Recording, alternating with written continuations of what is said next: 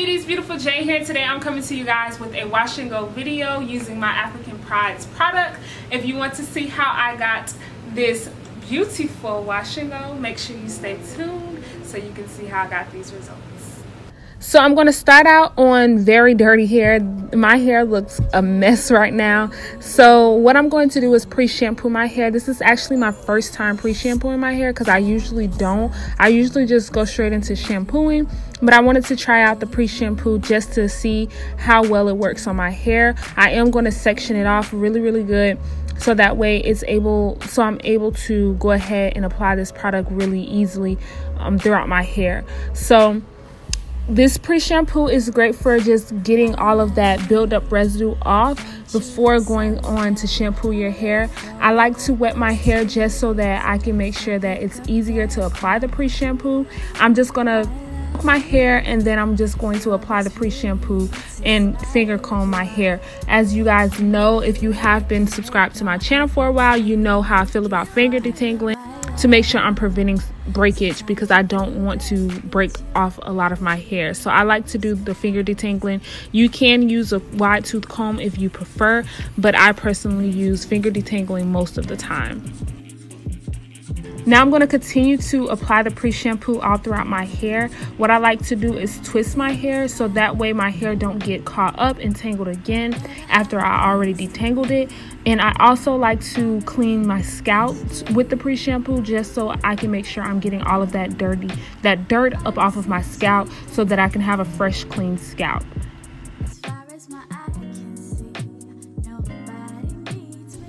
Now, if you are enjoying this video so far, make sure you hit that subscribe button down below and also make sure you hit that bell so you won't miss any of my videos. I do post every Monday, Wednesday, and Friday. And also make sure you leave a comment down below.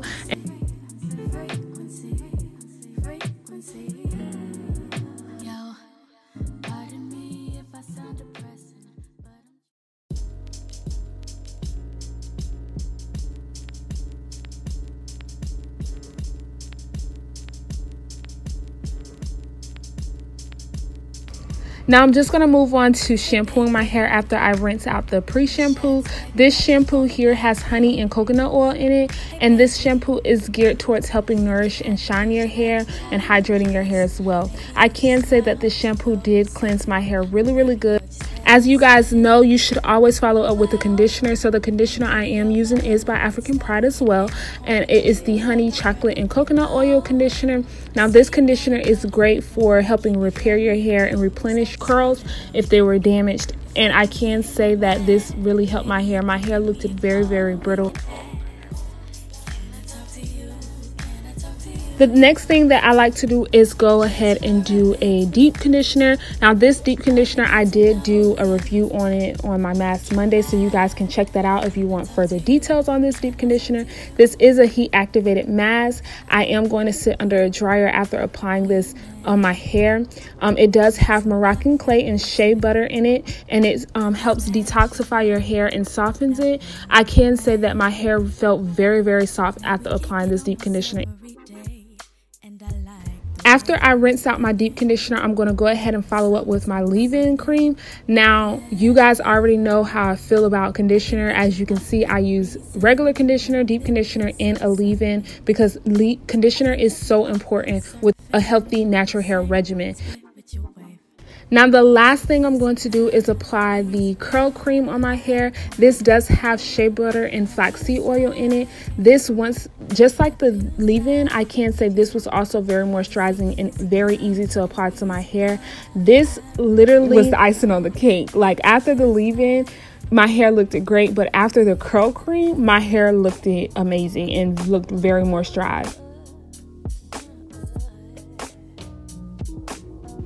This oil is a five essential oil. It is a sealant oil. So i do like to go ahead and use this to seal in the moisture so that way the moisture can stay inside my hair.